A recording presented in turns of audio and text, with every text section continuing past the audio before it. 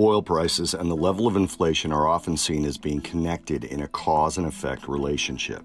As oil prices move up, so does inflation, and vice versa. History shows the two are correlated, but the relationship has deteriorated since the oil price spike of the 1970s. In the 1970s, the cost of oil rose 10x, from $3 to over $30, which helped the Consumer Price Index more than double in only eight years. It had previously taken 24 years for the CPI to double. According to the St. Louis Fed, there is a strong correlation between oil prices and the Producer Price Index.